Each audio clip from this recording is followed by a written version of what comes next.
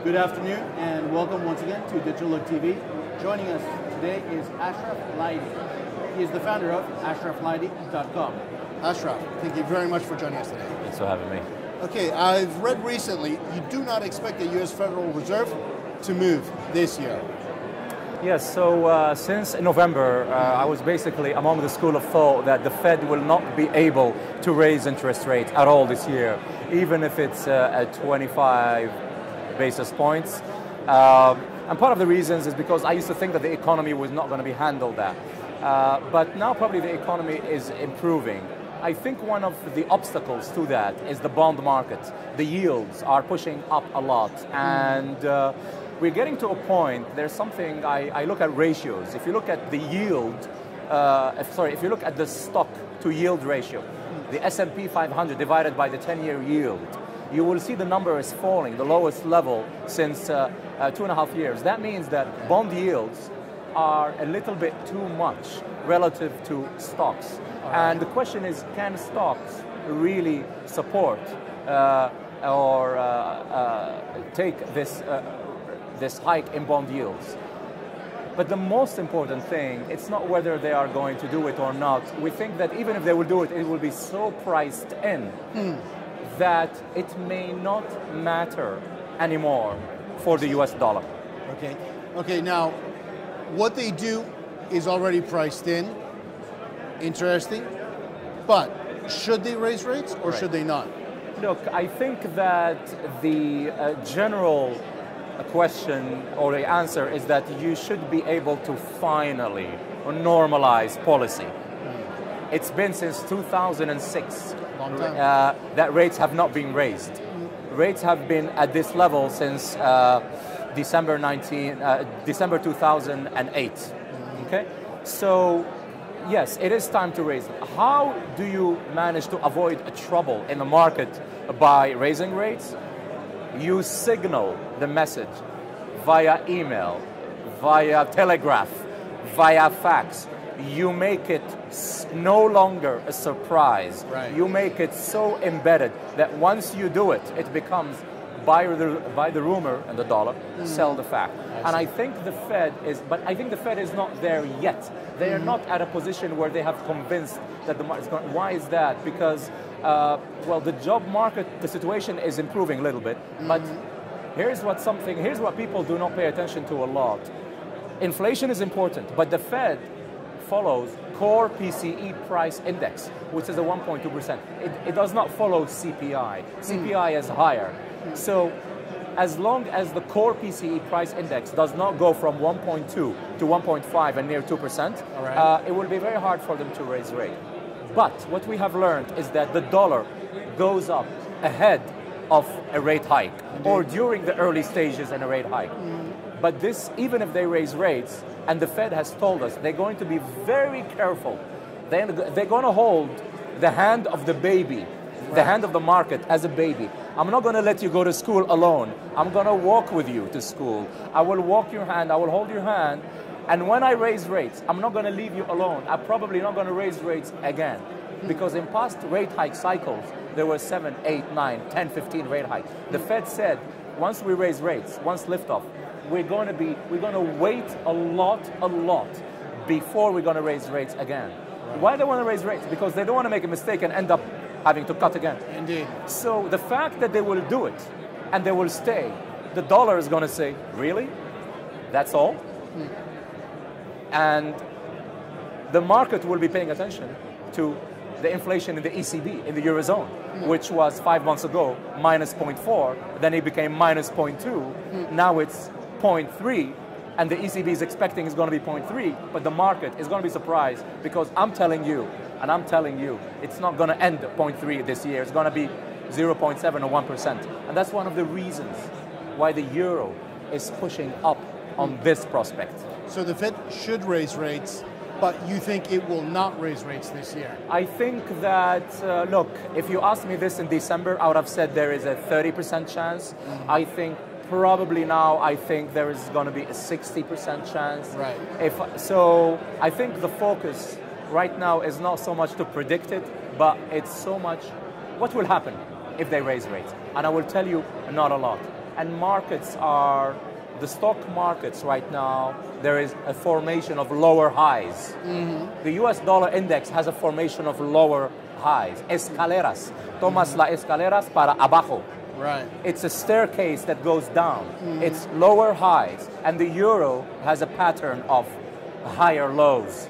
You be the judge. You look at the chart. Let's talk about those escaleras, those uh, stair steps. Euro dollar. What direction are the stair steps, stair steps going? Up or down? Yeah, I think, uh, look, it's been a clear trend that whether it's Merkel scaring the market saying, I think the euro is too strong, and the, and, and the market and the euro drops 80 pips, Last or whether it is, yeah, or whether it is a gossip magazine, good cop, bad cop on Greece, the bad cop comes. Regardless of that, you know, I know, and I don't know if you know, but the only thing that has been dragging the euro has been bad news from the Greece. Every other piece of news from, from the eurozone economically mm-hmm. has been good for the euro. And lately, the stronger than expected retail sales in the US was not good enough to, to bring down the euro. The market is telling you, you trade in the market and you trade what you see, it's telling you that the euro is going towards 117. Uh, so I think it's going to go to definitely 115, but I think we're going to see 117, uh, which is an important key. And that's why when you when I you know the book that I wrote, Intermarket Analysis. Yes. You this you look at the DAX. The DAX right now is on a 30 quarter cycle. I will talk about this more in the talk. It is going to come down more. The DAX comes down. Yield, bond yields, I think they're going to go back towards 1% and above 1.2. Okay. And uh, what time frame? Oh, I think uh, this this month. I think it's going to happen again 1.2, and uh, re- an inverse head and shoulder formation in the euro dollar. Uh, similar thing happening in the bond yields. The dollar index is looking at a lower highs. We can talk the language of technicals. We can talk the language of the fundamentals. Spreads. German 10-year spread minus US, not US minus German. German minus German 10-year yield minus US 10-year yield. You take that chart, and hmm. that chart was like this. It is breaking out to a four and a, four and a half year high. Hmm. You take that chart, it is well correlated with the euro dollar. This is also, I'm going to talk about this today. So you look at the spread, and it is showing you that the euro wants to go up, and it probably can go Okay. towards 117. Ashraf, correct me if I'm wrong, but you, I always get the impression that you tend to overlay technicals and fundamentals. Yeah. From a fundamental point of view, in the Eurozone, at the macro level, mm. are we at an inflection point mm. or not? Right. I think it is very hard for the euro to go back to the lows of 105. And having said that, fundamentally speaking, it is very hard for inflation to go to minus 0.5. Once Draghi has convinced the Germans, once the Germans were convinced that they're going to do something that they didn't want to do, they better do it properly. And they're going to throw the kitchen sink, whether it's 60 billion euros a month, whether it's 65, whether it's 70. Once they're going to do it, they're, they're not going to turn back. And the ECB has had a very good history with Trichet and with Draghi. They're very slow to react. But once they pull the trigger, you don't mess around with them. We were talking about Mr. Mario Draghi, who was able to move the euro, inject liquidity by saying something without doing it. September 2012. Good trick. Now that he's actually doing it, you don't mess around with that. People can make fun of him. You know, the Anglo-Saxon world can make fun of the eurozone and everything. But, and I think that we are seeing improvement in the PMIs, in the German PMIs, ZEW survey, IFO survey. You know, the Spanish economy, the man in the street may not feeling very good, the middle class, but the banks, the bonds, the you know uh, the IBEX, it's doing much better thanks to the liquidity, courtesy of the ECB. So it's very hard to imagine that we're going to go back to a crashing point in the euro. And I think these market fundamentals, you know, the spreads, the euro spreads, the spread between the Spanish and the German, uh, not only because it's narrowing because the Spanish are going down, but because the bond yields are pushing up. So, so all of these things, um, I think they are making more of an even playing field in the forex market. We are not longer in March 2015 when you put a blind foil and you sell the euro and you buy the DAX and you and you buy the dollar. It's not like that anymore. Okay. For new traders, also for veteran traders, recommendations. What is your, how do you go about trading? Look, uh, I think you see what you're comfortable with. I think as far as technicals, you have to trade what you see. Do not complicate things. You use different schools of technical analysis. You use your trend lines. You'll use what is the previous support, now resistance, and vice versa. You use the key moving average. I use 50, 100, 200 for daily, weekly, monthly.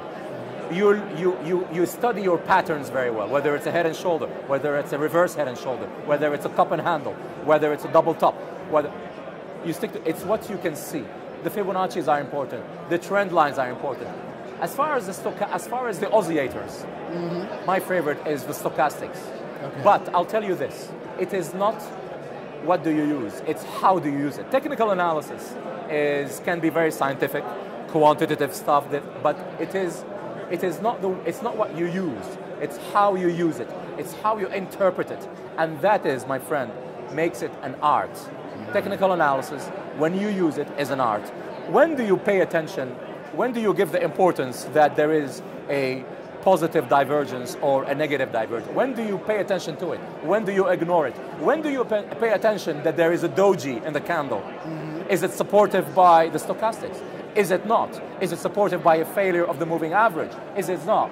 It's that convergence. When you go to war, you're going to have all the arms with you. Right. When you go and trade, you have to have as many supporting elements. And for me, the perfect trade is something that I can spot, not with the fundamentals, but with the technicals.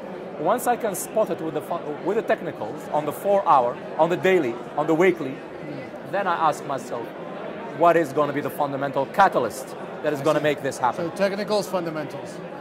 Yeah. Okay. Favorite trades at the moment? Where do you see alpha? Well, I'm not sure when is this going to be transmitted, but right now it's June 13, 2015. It's the same trade that has been helping me for the past two weeks, and that is long sterling dollar. That is one, one, one trade is important. I think Euro CAD, long Euro, short CAD, inverse, head and shoulder, it's going to take you towards 141. Magic. Ashraf Laidi, founder of ashraflaidi.com. My pleasure. Thank you so much for your time. Mucho gusto. And that is all from all of us here at Digital Look for today. Thank you very much for your time.